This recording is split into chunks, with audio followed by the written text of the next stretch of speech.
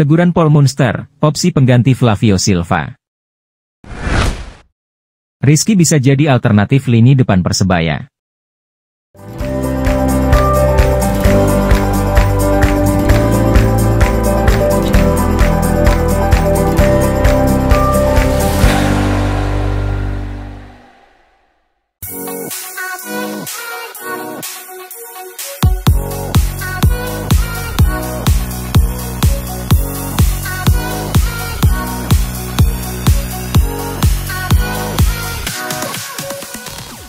Hai hai hai, halo bonek dan bonita, berjumpa lagi di channel Persebaya Everyday.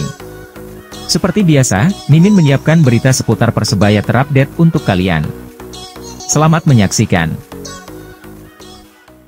Teguran Paul Munster, opsi pengganti Flavio Silva.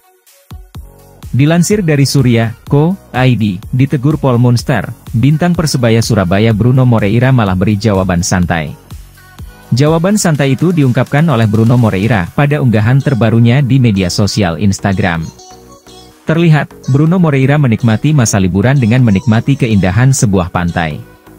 Liburan telah berakhir, tulis Munster diakhiri dengan sebuah emotikon tersenyum. Mendapat teguran dari pelatihnya, Bruno Moreira memberikan respon santai. Sabar, ucap Bruno yang juga menimpali dengan emotikon tertawa. Rizky bisa jadi alternatif lini depan Persebaya. Dilansir dari RRI, Co. ID, pemain muda Persebaya Surabaya, Rizky Dwi Pangestu, kian matang penampilannya musim ini. Meski jarang tampil, pemain kelahiran 9 April 1999 menunjukkan perkembangan positif selama persiapan di masa jeda kompetisi Beri Liga 1 2024-2025 pekan ini. Sebagai pemain pelapis, Rizky tampil percaya diri dan bisa menjadi pilihan di lini depan skuad Bajul Ijo. Ia membuktikannya saat tampil dalam dua kali uji coba, dengan mencetak tiga gol kontra tim Liga 2 Gresik United dan tim Liga 3 Sang Maestro. Pelatih Persebaya, Paul Munster memberikan motivasi kepada Rizky dengan mengingatkan agar menjaga konsistensi dalam bermain. Ia berharap Rizky punya mental yang kuat menghadapi ketatnya kompetisi Liga 1 musim ini.